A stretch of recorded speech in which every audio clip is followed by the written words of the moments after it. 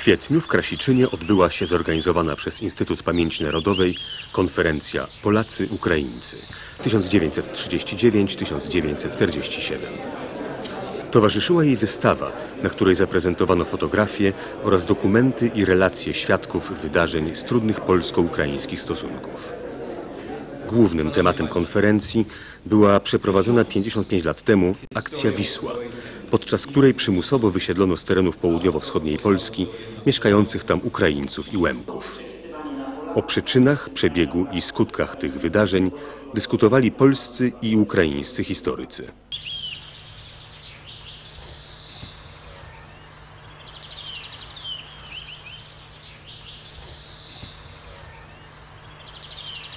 konflikt polsko-ukraiński, zwłaszcza w Galicji, to jest jeszcze okres przed I wojny światowej. Później mamy takie etapy jak wojnę polsko-ukraińską o Lwów i Galicję Wschodnią roku 18-19. Mamy niezwykle powikłane stosunki polsko-ukraińskie w okresie międzywojennym, e, kiedy Ukraińcy uważają, że są po prostu społeczeństwem okupowanym przez Polskę. E, Polska natomiast przeciwstawia się ruchowi no, jakby to nie powiedzieć, no co najmniej separatystycznemu, prawda, ukraińskiemu, zmierzającemu do oderwania tych ziem od Polski. E, robi to w sposób szalenie nieumiejętny. E, ludność ukraińska e, ma przekonanie, że e, Polska e, gnębi tą ludność i jest to przekonanie w ogromnej mierze słuszne. E, okres II wojny światowej jest jakby kolejną odsłoną tego trwającego przez wiele lat konfliktu i to odsłoną niezwykle dramatyczną, niezwykle krwawą, e, z, masowym, z masowymi zbrodniami na Wołyniu, a także w Galicji Wschodniej. Bez wątpienia jest jasne, że antypolskie akcje na Wołyniu i wschodniej Galicji w 1943 i 1944 roku to była zaplanowana i zorganizowana przez Komendę Ukraińskiej Powstańczej Armii i kierownictwo Organizacji Ukraińskich Nacjonalistów akcja. Co do samej ukraińskiej powstańczej armii, to e, to jest rzecz niezwykle skomplikowana, dlatego że to jest rzeczywiście ugrupowanie e, nacjonalistyczne i to skrajnie nacjonalistyczne, ale jest to ugrupowanie, które niewątpliwie walczyło o niepodległość Ukrainy. Walczyło z Polakami, często przy użyciu metod niedopuszczalnych, e, ale no niewątpliwie należy do tradycji e, niepodległościowego ruchu ukraińskiego. Jest to oczywiście dla wielu osób niezrozumiałe, niepojęte, jak mogli walczyć o Ukrainę na terenie Polski, prawda, w granicach ówczesnej Polski. Niemniej jednak ci ludzie wierzyli, że walcząc z komunizmem, walcząc z wojskami e, E, e, komunistycznego państwa na terenie komunistycznego bądź co bądź państwa przyczyniają się w jakiś sposób do być może odbudowania, do stworzenia tego państwa ukraińskiego, które po latach, jak wiemy, jednak powstało. Na początku 1945 roku w pasie od Lubaczowa po Sanok doszło do tragicznych wydarzeń. W wyniku licznych akcji polskich oddziałów partyzanckich przeciwko Ukraińcom Spalono m.in. Pawłokomy, Małkowice, Bereskę, Bachów i Piskorowice. Spacyfikowano wierzchowiny. W tym samym czasie jednostki podległe rządowi komunistycznemu zniszczyły m.in. Lubliniec i Gorajec. Zginęło w sumie około 3,5 tysiąca cywilów. 12 kwietnia 1945 roku na miejscu zbrodni układałem listę ofiar. W Beresce zapisałem 187 osób, a w Bachowie 95. Wśród nich było sześcioro niemowląt, a jedno z zabitych dzieci miało sześć dni. W odpowiedzi UPA zaatakowała Polaków, między innymi paląc wiązownice i borownice. Zabito kilkaset osób cywilnych. Z zeznań przesłuchiwanych osób, które były naocznymi świadkami zajścia, wynika, że zamordowano 194 osoby, w tym 45 mężczyzn, a pozostałe osoby to kobiety i dzieci. Rabowano również mienie mieszkańców. Oddziałowa Komisja Ścigania Zbrodni przeciwko Narodowi Polskiemu w Rzeszowie prowadzi obecnie 22 śledztwa z zakresu e, zbrodni popełnionych na tle właśnie narodowościowych pomiędzy Polakami i Ukraińcami w okresie od 1943 do 1948 roku. Wśród tych śledztw e, warto wspomnieć o śledztwie dotyczącym zbrodni na ludności ukraińskiej Pawłokomy w marcu 1945 roku w sprawie zamordowania 32 osób w Terce w lipcu 1946 roku w sprawie zamordowania około 150 osób w Małkowicach w kwietniu 1945 roku, jak też zbrodniach dokonanych na ludności polskiej, w tym zbrodni dokonanej w Baligrodzie latem 1943 roku, w Wiązownicy w kwietniu 1945 roku, czy też sprawy dotyczące pojedynczych ataków UPA na takie miejscowości jak Temeszów, Witryłów, Borownica i inne. Wiosną 1945 roku w obliczu komunistycznych represji doszło do zawieszenia broni i prób współpracy między polskim i ukraińskim podziemiem. W maju 1946 roku oddziały WIN i UPA wspólnie opanowały Chrubieszów, uwalniając więźniów z miejscowego UB. Na Rzeszowszczyźnie taka współpraca istniała jedynie kilka miesięcy. W Lubelskiem przetrwała aż do 1947 roku. Polska, która powstała w 1944 roku, no bo powstała, tak by można powiedzieć, bo jednak w dużym stopniu nie była kontynuacją tego, co było przed wojną, właśnie ta Polska to jakby ten problem e, trudnych stosunków polsko-ukraińskich przejęła i w jakim sensie go kontynuowała. 27 lipca 1944 roku PKWN zawarł tajną umowę z ZSRR o nowej granicy państwowej. Na jej mocy Polska zrezygnowała m.in. z Wołynia i Galicji Wschodniej. Postanowiono wówczas o wzajemnej akcji przesiedleńczej Polaków i Ukraińców. Dzisiaj inaczej na to patrzymy, mamy inne standardy. Zmuszenie kogoś gdzieś do wyjazdu, nawet zmuszenie go ekonomicznymi narzędziami może być postrzegane jako e, działanie przeciwko temu człowiekowi. Wtedy w latach 45-48 około 20 milionów ludzi w Europie zostało przesiedlonych. Przesiedlano Turków, przesiedlano Niemców, przesiedlano Polaków, przesiedlano Ukraińców także. Do marca 1945 roku z około 600 tysięcy Ukraińców zamieszkujących ówczesną Polskę wyjechało 81 tysięcy. Latem 1945 roku akcja przesiedleńcza całkowicie się załamała. Wówczas władze podjęły decyzję o wysiedleniu Ukraińców siłą przy użyciu wojska. Miały miejsce rabunki, gwałty oraz zabójstwa. UPA przeprowadziła liczne akcje mające na celu powstrzymanie wysiedleń.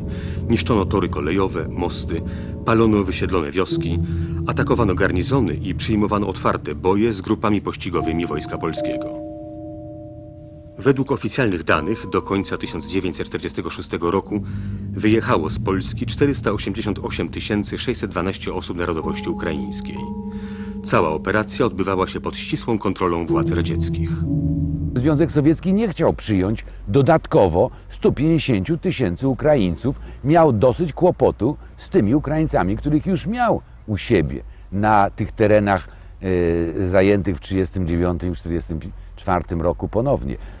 A więc coś trzeba było z nimi zrobić, gdyż na tym obszarze oni traktowani byli przez władze i przez wojsko także jako zaplecze partyzantki. Żeby tą partyzantkę zniszczyć, trzeba było jej zaplecze usunąć. Przygotowanie rozpoczęto już w styczniu 1947 roku wydaniem rozkazu sporządzenia spisów rodzin ukraińskich i mieszanych przez oddziały Wojska Polskiego i funkcjonariuszy Urzędu Bezpieczeństwa Publicznego. 28 marca 1947 roku w zasadzce w Bieszczadach, zorganizowanej przez połączone sotnie Chrina i Stacha, zginął wiceminister obrony narodowej generał broni Karol Świerczewski. Śmierć generała dała pretekst władzom polskim do rozpoczęcia pod pozorem akcji odwetowej przesiedleń ukraińskiej ludności cywilnej. Jest pytanie, jaki wpływ na akcję Wisła miała śmierć Świerczewskiego. E, moim zdaniem e, akcja Wisła odbyłaby się niezależnie od tego, czy Świerczewski by zginął, czy nie. Jeśli już jakikolwiek w ogóle ona miała wpływ, to co najwyżej na przyspieszenie tej operacji. Ściśle tajne zadanie. Rozwiązać ostatecznie problem ukraiński w Polsce. W tym celu ewakuacją będą objęte wszystkie odcienie narodowości ukraińskiej z Łemkami włącznie, jak również mieszane rodziny polsko-ukraińskie. Na obszarze głównego siedliska band, rejon Sanoka, ma być przeprowadzona ewakuacja całkowita. Ten teren będzie w przyszłości zaludniony osadnictwem wojskowym. Równocześnie z akcją wysiedlania ma być przeprowadzona akcja ofensywnego zwalczania band UPA, które muszą być bezwzględnie wytępione. Akcja Wisła została przeprowadzona też w pewnym kontekście ogólnych działań tego państwa, niezwykle brutalnej walki z partyzantką, niezwykle brutalnych działań sądów, tortur e, stosowanych przecież w urzędach bezpieczeństwa, e, masowych fałszerstw przy wyborach e, i właśnie w parę miesięcy, dosłownie w parę miesięcy, właściwie w trzy miesiące po wielkim fałszerstwie wyborów przeprowadzono tą akcję Wisła. Operacja Wisła była pewnym aktem za Akcja Wisła była niewątpliwie pewnym aktem zemsty za pogromy Polaków podczas galicyjsko-wołyńskiej wojny w latach 1943-44. Ale to był odwet wobec Ukraińców, a nie bezpośrednich uczestników tej antypolskiej, depolonizacyjnej akcji, jaka miała miejsce w latach 40. na Wołyniu i we wschodniej Galicji. Akcja, jaka miała miejsce w 43-44 rokach na Wołyni i wschodniej Galicinie. E, oczywiście e, można takie tłumaczenia e, dorabiać, ale zamierzeniem organizatorów akcji Wisła w żadnym wypadku nie była sprawa rozliczeń z tym, co się działo 2 czy 3 lata wcześniej, czy parę lat wcześniej. Celem organizatorów akcji Wisła było pozbycie się problemu narodowościowego w e, południowo-wschodniej części e, pojałtańskiej Polski. I to, I to wykonali, a wykonali to, myślę, w ramach e, planu, który e, obowiązywał we wszystkich krajach e, sowieckiej strefy rozwiązania konfliktów e, e, narodowościowych po prostu siłą. Akcja Wisła rozpoczęła się 28 kwietnia i trwała do 31 lipca 1947 roku. Wysiedleniem na zachodnie i północne ziemie Polski objęto wszystkich Ukraińców, mieszane rodziny polsko-ukraińskie oraz niektórych Polaków. Wysiedleńcom z reguły dawano około dwóch godzin na zabranie podstawowych rzeczy, a następnie kierowano ich do punktów zbornych i stacji załadunkowych. Można być nawet brutalnym i powiedzieć, że był to jeden z najbardziej e, no, humanitarnych sposobów likwidacji partyzantki ukraińskiej.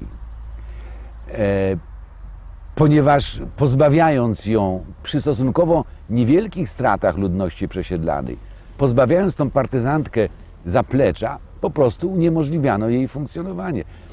E, I zresztą, jeżeli się przyglądać samemu przebiegowi tej operacji, to oczywiście były tam także i okrucieństwa, i znęcanie się, ale to nie było na porządku dziennym. Nie, nie było, przynajmniej dokumenty nie mówią o tym, żeby w okresie samej akcji Wisła, ja nie mówię o tym, co było przedtem, w okresie przeprowadzenia samej akcji Wisła, żeby żołnierze i milicjanci, którzy ją nadzorowali, żeby wykazywali jakieś specjalne okrucieństwo wobec przesiedlanej ludności. Akcja Wisła to nie tylko wysiedlenie i orężne zwalczanie e, UPA, to również masowe represje, którym poddano ukraińską ludność cywilną.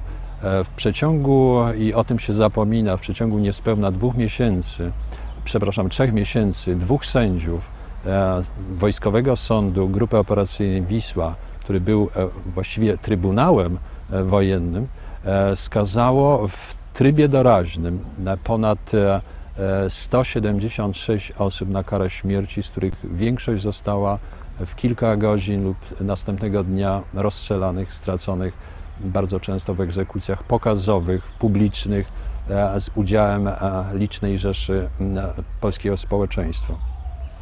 Dalszych e, kilka sądów wojskowych, innymi Wojskowy Sąd Rejonowy w Krakowie, w Rzeszowie, Przemyślu, w Lublinie, e, skazało e, dalszych ponad 200 e, Ukraińców na karę śmierci i również w większości ich stracono. Wszystkich podejrzewanych o sympatie narodowe umieszczano w obozie w Jaworznie. Znalazły się tam 3873 osoby, w tym 27 księży grekokatolickich i prawosławnych. 161 więźniów nie wytrzymało panujących tam warunków i zmarło.